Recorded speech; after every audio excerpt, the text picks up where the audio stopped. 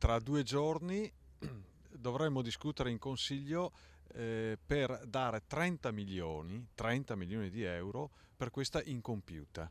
Eh, trascurata, mai finita, che il Veneto aspetta da vent'anni, che si chiama Servizio Ferroviario Metropolitano Regionale.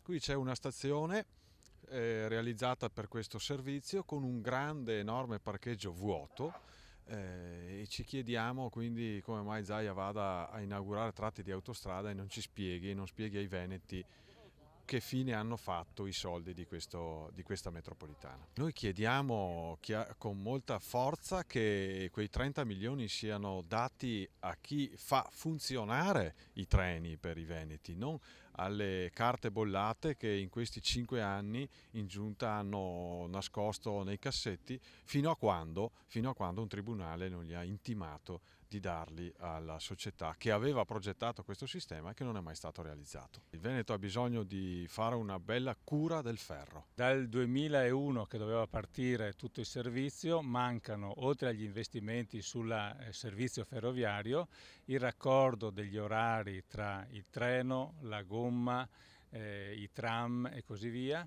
Manca il biglietto unico che è il titolo di viaggio utile e comodo per il turista, per chi vuole girare il Veneto in eh, tranquillità e che a tutt'oggi, nonostante le grandi somme spese per le consulenze, si parla di milioni, non è ancora stato realizzato.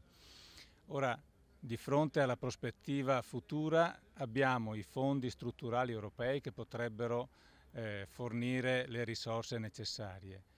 Bisogna però cambiare e voltare pagina dal punto di vista della governance, perché se non riteniamo questo un servizio essenziale dal punto di vista sociale, economico, ambientale per lo sviluppo del Veneto, è chiaro che eh, siamo eh, da tutta un'altra prospettiva rispetto a quella che noi oggi riteniamo prioritaria. E Zaia che oggi inaugura un, un troncone di autostrada è la dimostrazione che l'attenzione è da un'altra parte.